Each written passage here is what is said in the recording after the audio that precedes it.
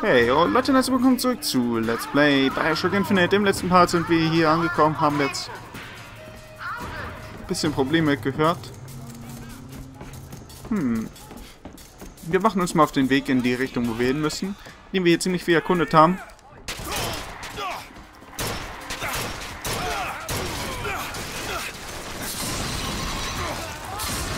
So, nervt mich mal da oben nicht. Ein Schild hält wirklich viel aus inzwischen.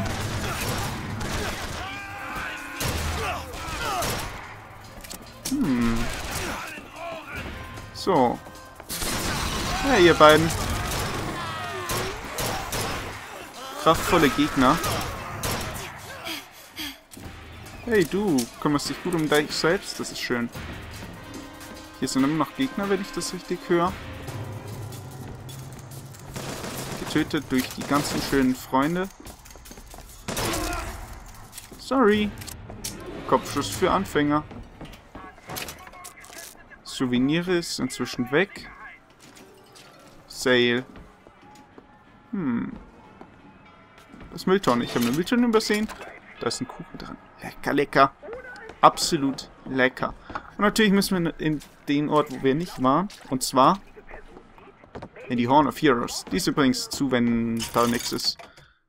Da ist nicht wirklich was drin, was ich bräuchte. Karabiner, das dürfte noch reichen. Brauchen wir Geld? Hey, danke für die Münze.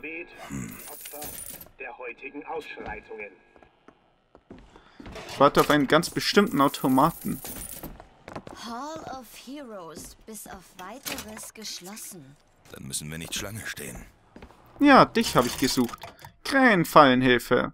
Opfer von Krä Killerkrähen zu Krähenfallen werden. Kaufen.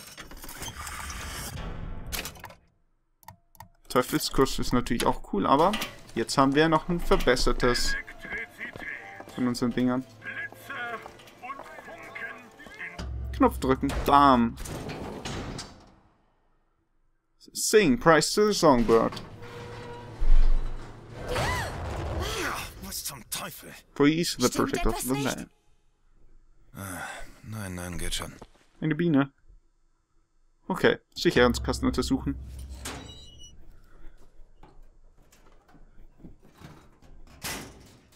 Hm, Ah, eine Biene. Ich, ich hasse diese Viecher. Oh Mann, dann erschlag sie. Nein, sie sticht mich. Elizabeth, Ich habe eine bessere Idee. äh, was wird das? Öffne einen Riss. Scheiße. Was ist das? Das ist ein Riss. In meinem Turm habe ich ständig welche geöffnet. Was ist ein Riss? Sowas wie ein... ein Fenster. Ein Fenster zu einer anderen Welt. Meistens sind diese Welten stinklangweilig. Ein andersfarbiges Handtuch oder Tee statt Kaffee. Aber manchmal, manchmal sehe ich was Tolles. Und das ziehe ich dann raus. Hier, Grundgütiger. Du hast da wohl nicht zufällig ein Luftschiff da drin? ich glaube nicht. Aber da... da ist etwas, das ich... Oh nein, Schließ ihn. ich versuch's ja. Schließ ihn. Wow. Der Songbird. Ich weiß ja nicht, was ich da gerade gesehen habe, aber mir kam's vor wie der kürzeste Weg in den Tod. Aber ich könnte helfen. Ich komme sehr gut allein zurecht. Glaub mir. Bitte, ganz wie Sie meinen. Okay, ich bin sofort wieder da. Okay, und weiter geht's. Hm. Tin?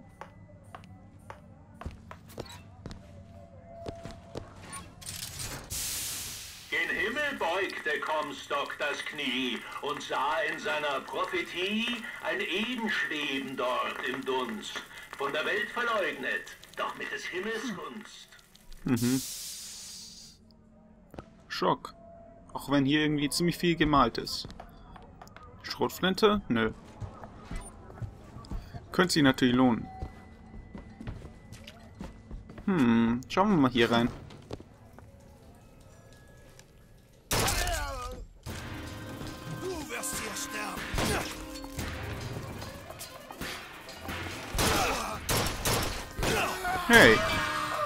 Danke. Das hat mich jetzt doch ein bisschen irritiert. Ich dachte nicht, dass er ganz so nervig wäre. Außerdem sollte ich vielleicht ein bisschen mehr reden. Sonst ist es kein Let's Play, sondern ein Playthrough. Das wäre ja dann langweilig, oder? Der liegt ganz schön auf dem Kreuz. Schade, dass sie nicht so genial gelandet sind wie beim letzten Mal. Da hat nämlich der eine so ausgesehen, als würde er in die Ecke pinkeln und der andere ist hier oben, glaube ich, drin gesteckt. Das war wirklich genial. A Discreet Wigger. Possession. Hm. Checken wir mal hier lang. Aber erstmal kurz da rein und schauen. Gut. Irgendwas drin? Nö. Nö. Da! Fink Industries. Die scheinen hinter diesem Shock-Jockey-Produkt zu stecken. Die sollten sich was schämen. Warum würden die sonst Fink heißen? Wie Schmutzfink, oder? Aber wenn das hier mehr nach Frauenklo aussah. Weil hier stand nichts von Frauenklo. Oder? Nö. Ist auch eben egal inzwischen. Hier ist ja kein Mensch. Was gibt's auf der Seite hier? Hm. Möglicherweise was Interessantes? Oh, mittlere Salze, danke. Du musst ein Schloss knacken. Das dürfte schnell gehen. Sorry, Leute. Bitte. Hm, und wir haben zwei. Gauner auf 30 Schlösser knacken. Schön. Wow, wow, wow, wow, wow.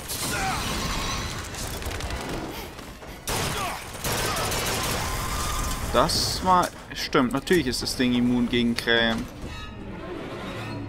Oh, Sam, Plündererweste. Was haben wir? Mantel der Leiden.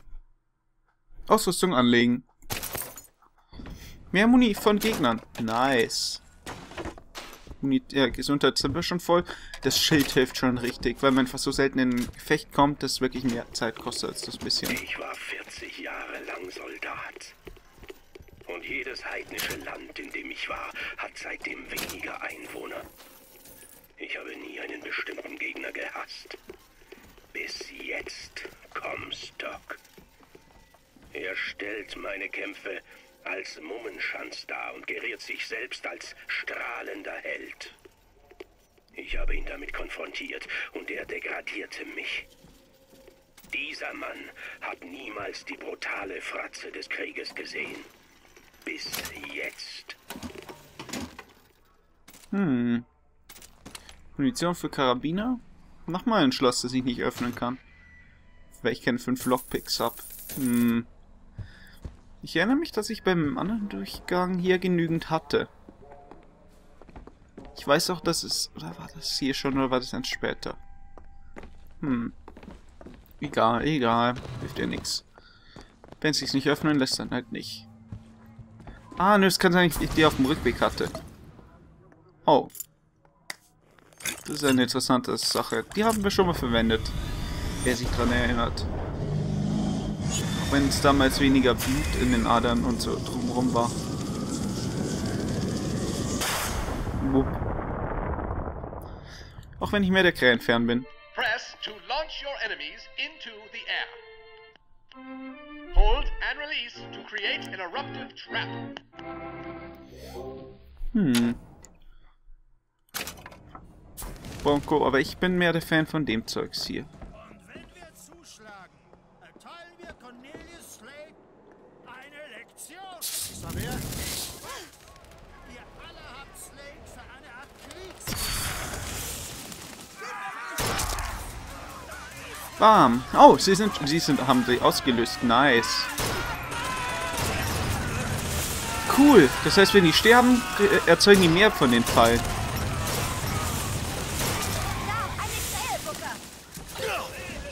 Was, eine Krähe? Ah, da oben. Zum Teufel, von wo werde ich angegriffen? So. Hey. Ich kann es nicht leiden, wenn ich... Wenn ich angegriffen werde. Ach, gegen Killerkrähen ist natürlich die Krähe immun. Das wundert mich jetzt natürlich nicht. Ah, das war cool. Man schwimmt- haut einmal die Krähe rein. So, die Krähen nerven. Die Okay. feindlichen. Wenn ich so drüber nachdenke, diese Risse können schon nützlich sein, wenn es wieder mal eng wird. Naja, es muss aber ein Riss da sein, damit ich ihn nutzen kann. Ich kann die nicht einfach machen.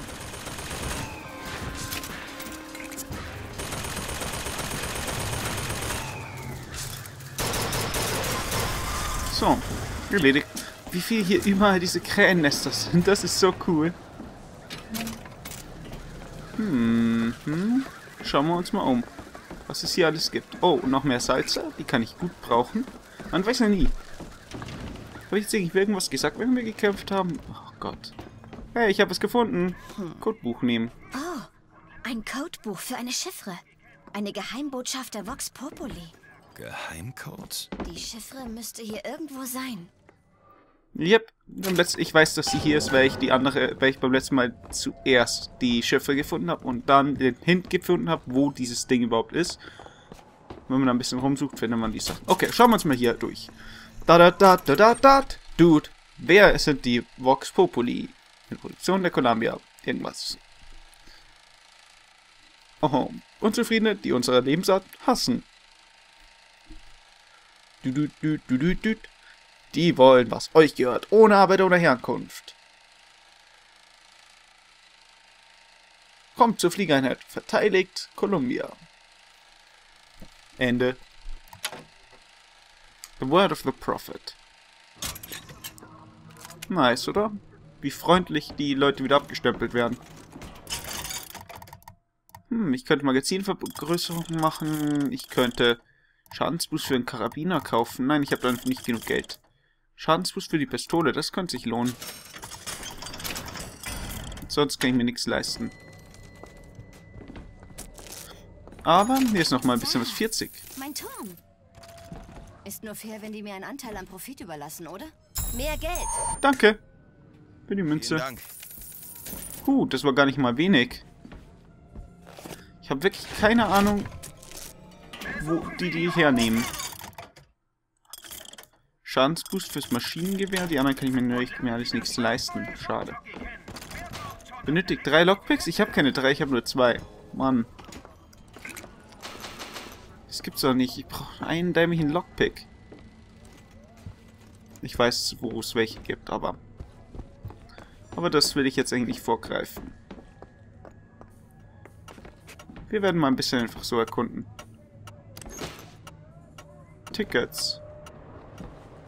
Schauen wir mal nach oben, ob es da oben noch irgendwas Wichtiges gibt zum Erkunden. Nochmal umschauen, vielleicht übersehe ich irgendwas Wichtiges. Hm. Naja, schauen wir einfach mal nach oben. Why not visit the following Traveler Cup? Pub. Hm.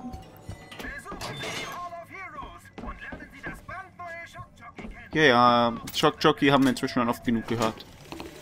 Gott erschafft alle möglichen Arten Soldaten. Aber er schuf nur einen Cornelius Slate. Mein Vater folgte ihm den San Juan Hill hinauf, durch die Gesandtschaften in Peking wie er sich ausdrückte, sogar durch die Hölle, wenn der Befehl dazu erging. Heute beim Appell fragte Slate mich, ob ich Sergeant Monroes Tochter sei. Ich sagte, ja, Sir, die bin ich. Und Slate sagte, dein Vater wollte immer einen Sohn. Ich hoffe, der Dummkopf weiß, wie viel Glück er hatte. Mhm. Munition für Karabiner, danke. Also wissen wir, dies, dieser Slate ist schon sehr wichtig gewesen. Checken wir mal den anderen Laden aus, der noch auf der anderen Seite ist. Und überall sind diese Krähen, die finde ich so irritierend inzwischen. Ah, das ist... Was ist das, was das für eine OP-Waffe dadurch ist? Weil die nicht auszulösen, ist auch schwer jetzt. Dieser Schlangenöl-Schacherei. Was ihr heute erlebt habt, Genossen, war erst der Anfang. Zachary Comstock wird unsere Stimme hören. Seine Tempel werden brennen und seine Goldgötzen werden schmelzen und in Bächen durch die Straßen Columbias rinnen. Okay, das war mal die Gegenpartei. Hm. Hier müsste doch irgendwo mal irgendwas Sinnvolles sein. Ich habe Geld gefunden. Bedarf? Yep. Ich habe aber erst noch was anderes aufgehoben. Und zwar einen der Schließdinger, die ich gebraucht habe. Hier ist nix. Hier irgendwo was? Außer Munition. Hm. Und Salzen, die ich nicht brauche. Nö. Oh. Wir erhielten einen Tipp, dass im Fellow Traveler geschmuggelte Waffen versteckt wären. Wir haben nichts gefunden, aber komisch. Unter den Budendielen stießen wir auf ein paar alte Uniformen aus dem Krieg. Wir rätselten, wie die dorthin kamen, aber... Wer ist da? Sind Sie Slade, ja? Sir! Die Waffen weg! Hast du das gehört, Comstock? Das war das Geräusch, das du nie gehört hast. So klingt es, wenn ein Soldat stirbt. Komm zur Hall of Heroes. Beweise, dass ich lüge. Okay. Booker, hier. Das ist es, was das Codebuch dechiffriert, bestimmt. Mal sehen. Hut ab für die Vox. Ah, hier muss es mehr geben, als man auf den ersten Blick sieht. Hm. Übrigens, hier sieht man, wo dieses Ding versteckt ist. Das Buch. Das war der erste Hint und schauen wir uns mal an. Hm. Waschbecken, Toiletten, alles mögliche. Hut ab für die Vox. Ein Hut? Oh, Guter Tipp, der Hut. Allerdings. Hat mich beim letzten Mal auch nicht so lange gedauert, gekostet. Man muss halt nur wissen oder man braucht halt den Tipp dafür, glaube ich, dass man das macht. Ansonsten kriegt man, kann man die nicht anklicken. Glaube ich zumindest. Hey, Voxophon. Daisy Fitzroy. Ich habe von ihr gelesen. In den Büchern steht, sie will Columbia vom Himmel zerren. Jeder hat einen Traum. Ich will nicht Teil ihrer Kultur sein, ihrer Politik, ihres Volkes. Die Sonne geht unter für ihre Welt. Und bald schon werden sie im Dunkeln stehen. Okay, da haben wir, glaube ich, einen Teil von verpasst. Schildinfusion. Yeah, noch mehr Schild. Für uns. Langsam werden wir unverwundbar. Fehlt dann noch Gesundheit und Glück und gute Laune und so weiter und so fort. Stimmt, wir finden ja jede Menge Munition, aber ich trotzdem noch bei dem. Daher ist zwar super cool. Ich werde euch noch zeigen, warum, aber... Naja, nehmen wir es mal mit. Schauen wir noch um, ob wir noch was anderes übersehen haben. Schienengewehre, 1818. Vox Populi. Genau, Vox Populi, nicht Vox Force, wie ich letztes gesagt habe. Behüte mich und gib mir Kraft. Noch irgendwer übrig?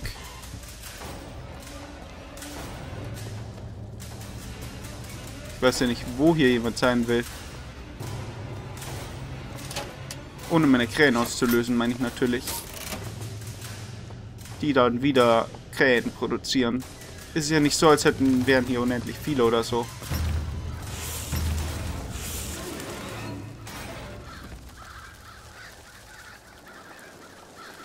Die sind effektiv. Die sind effektiv. Okay, was wir in dem verschlossenen Bereich da hinten finden, werden wir im nächsten Mal sehen. Bis dahin, viel Spaß. Hier, Leute. Bye, bye.